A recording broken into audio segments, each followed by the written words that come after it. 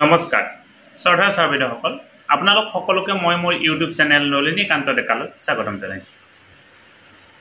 আজিৰ পৰা কিছুদিন আগতে কেবিনেটত শিক্ষা বিভাগৰ কাৰণে এটি বিশেষ সিদ্ধান্ত গ্ৰহণ কৰা হৈছে আৰু কেবিনেটত এই সিদ্ধান্তটো এপ্ৰুভ হৈছে। এইটো হৈছে স্কুল ৰুল বুক আজি আমি স্কুল ৰুল বুকৰ বিষয়ে আলোচনা কৰিম।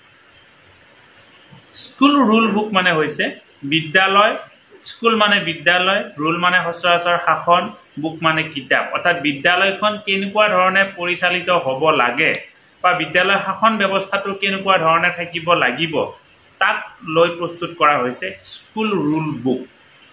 School rule বুকত ছাব্বিছটা পইণ্ট অন্তৰ্ভুক্ত কৰা হৈছে। এই ছাব্বিছটা পইণ্টে আপোনালোকৰ লগত আলোচনা কৰিম। ছাৰ বাইদেউসকল যিহেতু প্ৰায় বিছ পেজৰ এখন ড্ৰাফ্ট প্ৰস্তুত কৰা হৈছে আৰু এই ড্ৰাফ্টত আটাইখিনি কথা সন্নিৱিষ্ট কৰা হৈছে। এটা ভিডিঅ'তে যদি আটাইখিনি কথা আলোচনা কৰিবৰ কাৰণে যাওঁ ভিডিঅ'টো যথেষ্ট দীঘল হ'ব বা আপোনালোকেও ভিডিঅ'টো শেষলৈকে নাচাব কাৰণ ইমান দীঘল ভিডিঅ' চোৱাৰ কাৰো ধৈৰ্য নাথাকে বা সময়ো নাথাকে।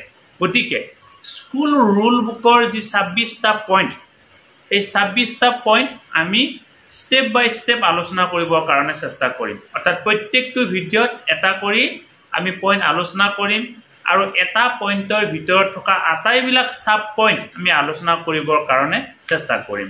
চৰা চাহ বাইদেউসকল প্ৰত্যেকজন শিক্ষক শিক্ষয়িত্ৰীৰ কাৰণে এই ৰুল বুকৰ ভিতৰত থকা কথাখিনি জনাটো দৰকাৰ। কাৰণ পৰৱৰ্তী পৰ্যায়ত এই ৰুল বুক যদি কিবা কাৰণত আমি মানি নলওঁ ইয়াত সন্নিৱিষ্ট থকা কথাখিনি যদি আমি এই মানে ভালদৰে কাৰ্যকৰী নকৰোঁ পৰৱৰ্তী পৰ্যায়ত হয়তো আমাৰ ওপৰত বিশেষ ব্যৱস্থা গ্ৰহণ কৰা হ'ব পাৰে। বাইদেউসকল আমাৰ যি school rule book school rule বুকৰ ইতিমধ্যে আমি প্ৰথম দুটা পইণ্ট আলোচনা কৰিছোঁ। সৰ্বমুঠ পইণ্টৰ সংখ্যা হৈছে ছাব্বিছটা এক নম্বৰ পইণ্ট আৰু দুই নম্বৰ পইণ্ট ইতিমধ্যে আমি আলোচনা কৰিছোঁ।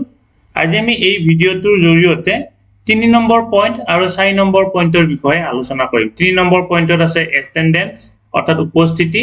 চাৰি নম্বৰ পইণ্টটো হৈছে পাংচুৱেলিটি অৰ্থাৎ নিয়মানুৱৰ্তিতা এতিয়া এটেণ্ডেঞ্চৰ ক্ষেত্ৰত প্ৰথম কি পইণ্ট দিয়া হৈছে আপোনালোকে চাওক। এটেণ্ডেঞ্চৰ ক্ষেত্ৰত প্ৰথম পইণ্টটো হৈছে পঞ্জীয়ন আৰু উপস্থিতি ৰেজিষ্টাৰ অৰ্থাৎ বিদ্যালয়খনত পঞ্জীয়ন অৰ্থাৎ ছাত্ৰ ছাত্ৰী যদি নতুনকৈ এডমিশ্যন হয় তাৰ ৰেজিষ্টাৰ আৰু উপস্থিতি অৰ্থাৎ ডেইলি এটেণ্ডেঞ্চ ৰেজিষ্টাৰ বিদ্যালয়ত থাকিব লাগিব। এইটো কোৱা হৈছে পঞ্জীয়ন আৰু এইটো হৈছে পঞ্জীয়ন আৰু উপস্থিতি ৰেজিষ্টাৰ দুই নম্বৰটো যিটো এটেণ্ডেঞ্চৰ ভিতৰত দুই নম্বৰ পইণ্টটো হৈছে এতিয়া ইয়াত যে কোৱা হৈছে পঞ্জীয়ন আৰু উপস্থিতি ৰেজিষ্টাৰ দুই নম্বৰ পইণ্টটোত যিটো আমাৰ উপস্থিতিৰ কথা কোৱা হৈছে উপস্থিতি বুলি ক'লে ইয়াতে চাওক কি কৈছে উপস্থিতি বুলি ক'লে অকল শ্ৰেণীত উপস্থিত থকাটো বুজোৱা নাই। অৰ্থাৎ আমি যে ক্লাছত উপস্থিত থাকি নিৰ্দিষ্ট টাইমত ক্লাছটো কৰিম সেই উপস্থিত থকাটোকে উপস্থিত থকা বুলি বুজোৱা নাই।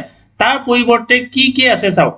তাৰ পৰিৱৰ্তে কোৱা হৈছে পৰীক্ষাৰ দায়িত্বভাৰ অৰ্থাৎ এক্সামৰ ডিউটি বিদ্যায়তনিক সহ বিদ্যায়তনিক কাৰ্য অৰ্থাৎ আমাৰ এই খেল ধেল খেল ধেমালি গীত নাট এইবিলাকৰ কথা কোৱা হৈছে।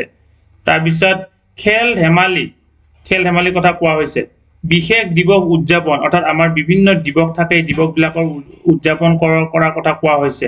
তৰ্ক প্ৰতিযোগিতা কুইজ প্ৰতিযোগিতা সাংস্কৃতিক অনুষ্ঠান আদিত উপস্থিত থকাটো বুজোৱা হৈছে। অৰ্থাৎ এটেণ্ডেঞ্চ বুলি ক'লে উপস্থিতি বুলি ক'লে অকল যে ক্লাছত আপুনি টাইমত আহিব আহি ক্লাছটো কৰিব কৰি ঘৰলৈকে গ'ল এইটো নহয় বাকী ইয়াত যিখিনি কথা কোৱা হৈছে সেই আটাইখিনি কথা উপস্থিতিত সামৰি লোৱা হৈছে। তাৰপিছত চাওক কি কৈছে দৈনিক তিনি নম্বৰ পইণ্টটো হ'ল দৈনিক উপস্থিতিৰ তথ্য উপস্থিতিৰ তথ্য ৰেজিষ্টাৰত সন্নিৱিষ্ট কৰাৰ লগতে অনলাইন পদ্ধতিৰ দ্বাৰা শিক্ষা সেতু পৰ্টেলত দিব লাগিব। ইতিমধ্যে আমি জানো আমাৰ প্ৰত্যেকখন বিদ্যালয়ৰ প্ৰত্যেকজন শিক্ষক আৰু ছাত্ৰ ছাত্ৰীৰ উপস্থিতি নিৰ্দিষ্ট ৰেজিষ্টাৰত অফলাইন মোডত সংগ্ৰহ কৰা হয়। তাৰ পৰিৱৰ্তে আমি সকলোৱে জানো শিক্ষা সেতু পৰ্টেল নামেৰে এটি নতুন পৰ্টেল আৰম্ভ কৰা হৈছে আৰু এই পৰ্টেলত শিক্ষক আৰু ছাত্ৰ ছাত্ৰীৰ অনলাইন কি কৰিব লাগিব উপস্থিতি দিব লাগিব সেই কথাটো স্কুল ৰুল বুকত সন্নিৱিষ্ট কৰা হৈছে। চাৰি নম্বৰ পইণ্টটো কি কৈছে চাওক যদি কোনো ছাত্ৰ বা ছাত্ৰী বিদ্যালয়ত উপস্থিত নাথাকে তেন্তে সেইজন ছাত্ৰ বা ছাত্ৰীৰ বিদ্যালয়ত অনুপস্থিত থকাৰ কাৰণ জানিব লাগিব আৰু অভিভাৱকৰ লগত আলোচনা কৰিব লাগিব। অৰ্থাৎ কিবা কাৰণত কোনোবা এজন ছাত্ৰ বা ছাত্ৰী আপোনালোকৰ বিদ্যালয়ত উপস্থিত নাই। বিদ্যালয়ত উপস্থিত নাথাকিলে সেই ছাত্ৰ বা ছাত্ৰীজন বিদ্যালয়ত কিহৰ কাৰণে উপস্থিত নাই সেই কথাটো জানিব লাগিব আৰু জানি অভিভাৱকৰ লগত কি কৰিব লাগিব সেই বিষয়ে আলোচনা কৰিব লাগিব। তাৰপিছত কি কৈছে চাওক পাঁচ নম্বৰ পইণ্টটো ছাত্ৰ ছাত্ৰী বিদ্যালয়ত উপস্থিত নাথাকিলে অভিভাৱকসকলে বিদ্যালয়ত উপস্থিত নথকাৰ কাৰণ জনাব লাগিব। অৰ্থাৎ কিবা কাৰণত যদি কোনোবা এজন ছাত্ৰ বা ছাত্ৰী বিদ্যালয়ত অনুপস্থিত আছে তেতিয়া অকল যে শিক্ষকসকলৰে দায়িত্ব হ'ব তেনেকুৱা নহয় অভিভাৱকসকলে কি কৰিব লাগিব সেই ছাত্ৰ বা ছাত্ৰীজন বিদ্যালয়ত কিয় অনুপস্থিত নাই? সেই কথাটো অৰ্থাৎ অনুপস্থিত নথকাৰ কাৰণটো কি কৰিব লাগিব? জনাব লাগিব। অৰ্থাৎ এই যিটো ব্যৱস্থা ব্যৱস্থাটোত অকল শিক্ষকসকলকে সামৰি লোৱা হোৱা নাই অভিভাৱকসকলকো সামৰি লোৱা হৈছে। ছয় নম্বৰ পইণ্টটো কি কৈছে চাওক? ছয় নম্বৰ পইণ্টটো কোনো ছাত্ৰ যদি সাত দিনতকৈ বেছি দিন বিদ্যালয়ত উপস্থিত নাথাকে তেন্তে শ্ৰেণী শিক্ষকে অভিযোগ জনাব লাগিব। অৰ্থাৎ আমাৰ যি ক্লাছ টিচাৰ ক্লাছ টিচাৰ বুলি কোৱাৰ লগে লগে ক্লাছ টিচাৰ আমাৰ এম ই স্কুল আৰু হাই স্কুল আৰু হায়াৰ ছেকেণ্ডাৰী স্কুলত ক্লাছ টিচাৰৰ ভেলুটো বেছি। কিন্তু আমাৰ এল পি স্কুলত কিন্তু ক্লাছ টিচাৰৰ ভেলু নাই। কাৰণ প্ৰায়বিলাক এল পি স্কুলতে কোনোবা এখন বিদ্যালয়ত যদি এজন কোনোবা এখন দুজনীয়া শিক্ষকৰ দ্বাৰা চলি আছে। গতিকে কি কৰিছে? ক্লাছ টিচাৰ বুলি ক'লে এল পি স্কুলৰ ক্ষেত্ৰত সকলোৱে ক্লাছ টিচাৰ এম ই স্কুলৰ ক্ষেত্ৰত বা হাই স্কুলৰ ক্ষেত্ৰত বা হায়াৰ ছেকেণ্ডাৰীৰ ক্ষেত্ৰত এক্সট্ৰা এক্সট্ৰা থাকিব। যদি কোনোবা এজন ছাত্ৰ সাত দিনতকৈ বেছি দিন অনুপস্থিত আছে তেতিয়াহ'লে শ্ৰেণী শিক্ষকে অৰ্থাৎ ক্লাছ টিচাৰে কি কৰিব লাগিব? অফিচত জনাব লাগিব। তাৰপিছৰ পইণ্টটো কি কৈছে চাওক?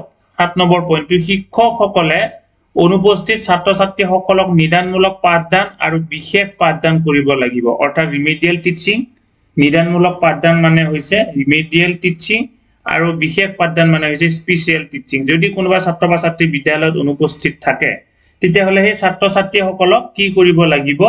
বিদ্যালয় শিক্ষক শিক্ষয়িত্ৰীসকলে ৰিমিডিয়েল টিচিং কৰিব লাগিব লগতে বিশেষ পাঠদান কৰিব লাগিব। তাৰ পিছৰ পইণ্টটোত কি কৈছে চাওক কোনো কাৰণ নোহোৱাকৈ বিদ্যালয়ত অনুপস্থিত থকা ছাত্ৰ ছাত্ৰী আৰু অভিভাৱকৰ সৈতে গঠনমূলক আলোচনা কৰিব লাগিব। যদি কিবা কাৰণত কোনোবা এজন ছাত্ৰ ছাত্ৰী বিদ্যালয়ত একো কাৰণ নোহোৱাকৈ অনুপস্থিত থাকে আৰু অভিভাৱকসকলেও যদি কথাটো অৱগত কৰা নাই তেতিয়াহ'লে কি কৰিব লাগিব? এই অভি ছাত্ৰ ছাত্ৰীসকল আৰু লগতে অভিভাৱকসকলৰ লগত এটি বিশেষ গঠনমূলক আলোচনা কৰিব লাগিব যে কি ছাত্ৰ বা ছাত্ৰীজন বিদ্যালয়ত কিহৰ কাৰণে অনুপস্থিত আছে। তাৰপিছত চাওক ন নম্বৰ কৈছে ন নম্বৰ পইণ্টটো কি কৈছে চাওক? ছাত্ৰ ছাত্ৰীৰ আচৰণৰ পৰিৱৰ্তন দেখিলে শিক্ষকসকলে তেওঁলোকৰ লগত আলোচনা কৰিব আৰু যথাসম্ভৱ সুন্দৰ পৰামৰ্শ দিব চেষ্টা কৰিব। প্ৰাথমিক বিদ্যালয়ৰ ক্ষেত্ৰত বিশেষকৈ এই পইণ্টটো প্ৰযোজ্য নহ'ব কিন্তু M E school high school higher ছেকেণ্ডাৰীৰ ক্ষেত্ৰত ছাত্ৰ ছাত্ৰীসকলে যিহেতু যৌৱনপ্ৰাপ্ত হয় তেওঁলোকৰ দৈহিক গঠন পৰিৱৰ্তন হয় সেই সময়ত তেওঁলোকে মানসিকভাৱে কিছু পৰিৱৰ্তন আহিব পাৰে। আৰু তেওঁলোকৰ আচাৰ ব্যৱহাৰ কথা কোৱাৰ ক্ষেত্ৰত কিছু পৰিৱৰ্তন আহিব পাৰে। যদি তেনেকুৱা পৰিৱৰ্তন শিক্ষকসকলে দেখা পায় সেই ছাত্ৰ বা ছাত্ৰীজনৰ লগত গঠনমূলকভাৱে আলোচনা কৰি তেওঁলোকক সুন্দৰ পৰামৰ্শ দিব লাগিব যাতে তেওঁলোকে বিপথে পৰিচালিত নহয়। এতিয়া এটেণ্ডেঞ্চৰ ক্ষেত্ৰত এই কথাকেইটা কোৱা হৈছে নটা পইণ্ট ধৰি দিয়া হৈছে। আৰু স্কুল ৰুল বুকৰ ক্ষেত্ৰত এটেণ্ডেঞ্চ ৰুল বুকৰ এটেণ্ডেঞ্চৰ ক্ষেত্ৰত এই কথাকেইটা আমি মানি চলিব লাগিব। যদিও বা বিদ্যালয়ত আগৰ পৰা শিক্ষক শিক্ষয়িত্ৰীসকলে এই কথাখিনি মানি চলে এতিয়া কিন্তু এটি ৰুল বুকৰ জৰিয়তে এই কথাখিনি কোৱা হৈছে। তাৰপিছত আহিল পাংচুৱেলিটি অৰ্থাৎ নিয়মানুবৰ্তিতা বা সময়ানুবৰ্তিতা। এতিয়া ইয়াৰে এক নম্বৰ পইণ্টটো কি কৈছে চাওক? ছাত্ৰ ছাত্ৰীসকল যাতে সময় সময়ানুবৰ্তিতাৰ কথা শিকাব পৰা যায় তাৰ কাৰণে প্ৰথমতে শিক্ষকসকল সময়ানু সময়ানুবৰ্তি হ'ব লাগিব। অৰ্থাৎ আমি যদি সময়মতে কামবিলাক নকৰোঁ তেতিয়াহ'লে ছাত্ৰ ছাত্ৰীসকলেও সময়মতে কামবিলাক নকৰিব। গতিকে আমি ছাত্ৰ ছাত্ৰীসকলক সময়ৰ জ্ঞান পাংচুৱেলিটি অৰ্থাৎ সময়ানু সময়ানুবৰ্তিতাৰ কথা কোৱাৰ আগতে আমি নিজে কি হ'ব লাগিব? সময় সময়ানুবৰ্তি হ'ব লাগিব। অৰ্থাৎ আমি সময়ত বিদ্যালয়ত উপস্থিত হ'ব লাগিব সময়ৰ কাম আমি সময়ত কৰিব লাগিব। দুই নম্বৰ পইণ্টটো কি কৈছে চাওক প্ৰাতঃসভাৰ ঘণ্টা প্ৰাতঃসভা আৰম্ভ হোৱাৰ পাঁচ মিনিট আগতে কোবাব লাগিব আৰু ন বজাত বিদ্যালয়ৰ মূল গেট বন্ধ হ'ব লাগিব। আমি জানো আমাৰ একাডেমিক কেলেণ্ডাৰ মতে ন বজাত আমাৰ মৰ্ণিং এছেম্বলি বা প্ৰাতঃসভা অনুষ্ঠিত হয়। আৰু ইতিমধ্যে ইয়াৰ আগৰ যিটো ভিডিঅ' আগৰ ভিডিঅ'ত মই পাঠ্যসভাৰ লগত আমাৰ যে একাডেমিক কেলেণ্ডাৰ তিনিখন থাকে সেই কথাটো দেখুৱাইছো। অনুগ্ৰহ কৰি আপোনালোকে সেই ভিডিঅ'টো চাব। সেইটো ভিডিঅ' পাৰ্ট ওৱান এইটো হৈছে পাৰ্ট টু এতিয়া ন বজাত যিহেতু মৰ্ণিং এছেম্বলি অনুষ্ঠিত হয় তাৰ পাঁচ মিনিট আগত কি কৰিব লাগিব বেল দিব লাগিব। প্ৰাথমিক বিদ্যালয়ত কোনোবা এখন প্ৰাথমিক বিদ্যালয়ত বেল আছে কোনোবাখনত প্ৰাথমিক বিদ্যালয়ত বেল নাই। আৰু ন বজাৰ লগে লগে কি কৰিব লাগিব বিদ্যালয়ৰ মূল গেট বন্ধ কৰিব লাগিব তাৰপিছত কাৰো প্ৰৱেশ কৰিব নোৱাৰিব। তাৰপিছত কি কৈছে চাওক তিনি নম্বৰ। যদি কোনোবা ছাত্ৰ বা ছাত্ৰী দেৰিকৈ বিদ্যালয়লৈকে আহে তাৰ কাৰণ বিভিন্ন পদ্ধতিৰ জৰিয়তে জানিব চেষ্টা কৰি লিপিবদ্ধ কৰিব লাগিব। যদি কোনোবা এজন ছাত্ৰ ছাত্ৰী কি হৈছে দেৰিকৈ বিদ্যালয়ত উপস্থিত হৈছে তেতিয়াহ'লে তেওঁ কিয় কাৰণে দেৰিকে উপস্থিত হৈছে সেই কথাখিনি জানিব লাগিব আৰু জানি সেই কাৰণটো নিৰ্দিষ্ট ৰেজিষ্টাৰত কি কৰিব লাগিব লিপিবদ্ধ কৰিব লাগিব। অৰ্থাৎ ইয়াৰ কাৰণে পাংচুৱেলিটিৰ কাৰণে এটা ৰেজিষ্টাৰ প্ৰয়োজন হ'ব। ইয়াৰ চাৰি নম্বৰ পইণ্টটো কি কৈছে চাওক যদি কোনো ছাত্ৰ বা ছাত্ৰী সময়ানুৱৰ্তী নহয় তেওঁলোকক সঠিক পৰামৰ্শ দিয়াৰ ব্যৱস্থা কৰিব লাগিব আৰু প্ৰয়োজনত চৰকাৰ তথা বেচৰকাৰী এন জি অ'ৰো সহায় ল'ব। যদি দেখা পাইছে যে কোনোবা এজন ছাত্ৰ ছাত্ৰী মানে একেবাৰে পাংচুৱেল নহয় সময়ৰ প্ৰতি একেবাৰে উদাসীন তেওঁলোকে এই নিৰ্দিষ্ট টাইমত নাহে বা নিৰ্দিষ্ট টাইমত কামবিলাক নকৰে তেতিয়া তেওঁলোকৰ লগত কি কৰিব লাগিব? এই প্ৰয়োজন সাপেক্ষত চৰকাৰ চৰকাৰ মানে কি আৰু অফিচৰ লগত যোগাযোগ কৰিব লাগিব অফিচত হয়তো তেনেকুৱা ধৰণৰ বিশেষ ব্যক্তি থাকিব পাৰে তেওঁলোকে পৰামৰ্শ দিব আৰু তেওঁলোকৰ জৰিয়তে যদি সম্ভৱ নহয় পৰৱৰ্তী পৰ্যায়ত যিবিলাক আমাৰ এন জি অ' আছে এন জি অ' বিলাকৰ তৰফৰ পৰাও সহায় ল'ব পাৰিব যাতে সেই ছাত্ৰ বা ছাত্ৰীজনক কেনেকুৱা ধৰণে সময়ানুৱৰ্তী কৰিব পৰা যায়। তাৰপিছত চাব পাঁচ নম্বৰ পাঁচ নম্বৰটো কি কৰা হৈছে চাওক সকলো ৰেজিষ্টাৰ সুন্দৰভাৱে লিখি ৰেজিষ্টাৰ লিখিব লাগিব আৰু বিদ্যালয়ত পলমকৈ অহা ছাত্ৰ ছাত্ৰীৰ তথ্য ৰেজিষ্টাৰ লিপিবদ্ধ কৰি ৰাখিব লাগিব। ইয়াৰ আগতে এই পইণ্টটো ইতিমধ্যে উল্লেখ আছে ছেম পইণ্ট অৰ্থাৎ কোনোবা ছাত্ৰ বা ছাত্ৰী যদি দেৰিকৈ আহে বিদ্যালয়লৈকে তেখেতৰ তথ্য কি কৰিব লাগিব ৰেজিষ্টাৰত লিপিবদ্ধ কৰিব লাগিব। তাৰপিছত ছয় নম্বৰটো কি কোৱা হৈছে চাওক এই বিষয়ে অভিভাৱকৰ লগত অভিভাৱকক অৱগত কৰাব লাগিব। কেতিয়াবা কি হয় অভিভাৱকৰ গম পাই যে বিদ্যালয় ছাত্ৰ ছাত্ৰীজন বিদ্যালয়লৈকে সময়মতে গৈছে। কিন্তু প্ৰকৃতাৰ্থত দেখা পোৱা যায় সেই ছাত্ৰ বা ছাত্ৰীজন সময়মতে বিদ্যালয়লৈকে অহা নাই। গতিকে অভিভাৱকে হয়তো গম পাবও পাৰে গম নাপাবও পাৰে। যদি কোনোবা এজন ছাত্ৰ ছাত্ৰী পলমকৈ বিদ্যালয়লৈকে আহে তেতিয়াহ'লে কি কৰিব লাগিব? শিক্ষক শিক্ষয়িত্ৰীসকলে অভিভাৱকসকলক এই কথাটো জনাব লাগিব। তাৰপিছত কি কৈছে চাওক? কোনো ছাত্ৰ বা ছাত্ৰীয়ে সাত নম্বৰটো কি কৈছে চাওক? ছাত্ৰ ছাত্ৰীক দিয়া গৃহ কৰ্ম সময়মতে সংগ্ৰহ কৰিব লাগিব। কোনো ছাত্ৰ বা ছাত্ৰীয়ে যদি পলমকৈ গৃহকৰ্ম জমা দিয়ে তেন্তে তাৰ তথ্য নিৰ্দিষ্ট ৰেজিষ্টাৰত লিপিবদ্ধ কৰি অভিভাৱক সভাত আলোচনা কৰিব লাগিব। পেৰেণ্ট টিচাৰ মিট অৰ্থাৎ পি টি এম যাক নেকি পেৰেণ্ট টিচাৰ মিট বুলি কোৱা হয়। যদি আমাৰ গৃহকৰ্ম অৰ্থাৎ হোমৱৰ্ক দিয়া হয় যদি সেই হোমৱৰ্ক কি কৰা নাই ছাত্ৰ ছাত্ৰীসকলে সময়মতে জমা দিয়া নাই বা দেৰি কৰিছে তেতিয়া তেওঁৰ কিয় জমা দিছে তাৰ তথ্য। কি কৰিব লাগিব? নিৰ্দিষ্ট ৰেজিষ্টাৰত লিপিবদ্ধ কৰিব লাগিব। যদি পলমকৈ জমা দিছে তেতিয়াহ'লে তাৰ তথ্য নিৰ্দিষ্ট ৰেজিষ্টাৰত লিপিবদ্ধ কৰিব লাগিব। আঠ নম্বৰ পইণ্টটোত কিয় কৈছে ছাত্ৰ ছাত্ৰীক সময়ানুৱৰ্তিতাৰ ওপৰত প্ৰশিক্ষণ দিব লাগিব। অৰ্থাৎ সময় নিৰ্দিষ্ট সময়ত কাম কৰিলেহে যে আমি সফল হ'ব পাৰিম। অৰ্থাৎ সময়তকৈ যে আমি আগতে কামবিলাক কৰিব লাগে সময়তকৈ আগতে বিদ্যালয়ত উপস্থিত হ'ব লাগে এই কথাখিনি ছাত্ৰ ছাত্ৰীসকলক প্ৰশিক্ষণ অৰ্থাৎ বুজাব লাগিব। ন নম্বৰ পইণ্টটো কি কৈছে চাওক? ন নম্বৰ পইণ্টটো কি কৈছে? বিদ্যালয় পৰিচালনা সমিতিৰ সভা অভিভাৱক সভা আদিত সময়ানুৱৰ্তিতাৰ এটি আলোচ্য বিষয় হিচাপে ৰাখিব লাগিব। অৰ্থাৎ প্ৰত্যেকখন মিটিঙত এছ এম চি মিটিঙত হওক বা এই অভিভাৱক সভাত হওক এই যে পাংচুৱেলিটি বা সময়ানুৱৰ্তিতাৰ পইণ্টটো এটা আলোচ্য বিষয় হিচাপে ৰাখিবৰ কাৰণে কোৱা হৈছে। গতিকে শ্ৰদ্ধা ছাৰ বাইদেউসকল আজিৰ এই ভিডিঅ'টোৰ জৰিয়তে এটেণ্ডেঞ্চ আৰু পাংচুৱেলিটিৰ ক্ষেত্ৰত স্কুল ৰুল বুকত কি কি দিয়া হৈছে সেই কথাখিনি আপোনালোকক সুন্দৰকৈ ক'লো। নিশ্চয় আপোনালোকে ভিডিঅ'টো যদি উপকৃত হৈছে এই ভিডিঅ'টো হৈছে আমাৰ পাৰ্ট টু এইটো হৈছে আমাৰ পাৰ্ট টু ইয়াৰ আগত আমি কি কৰিছিলো পাৰ্ট ওৱান এটা ভিডিঅ' বনাইছো। সেই ভিডিঅ'টো যদি আপুনি চোৱা নাই সেই অনুগ্ৰহ কৰি সেই ভিডিঅ'টো চাব। ভিডিঅ' ডেছক্ৰিপশ্যনত লিংক দিম বা মোৰ ভিডিঅ' ছেকশ্যনত গৈও চাব পাৰিব। কাৰণ আমাৰ স্কুল ৰুল বুকৰ যি ষোল্ল ছাব্বিছটা পইণ্ট ছাব্বিছটা পইণ্ট আমি এটা ভিডিঅ'ত আলোচনা কৰা নাই।